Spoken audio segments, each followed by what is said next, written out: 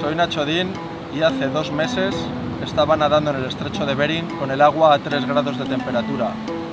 Hoy me encuentro en Papúa a punto de nadar la cuarta travesía de la expedición Nemo.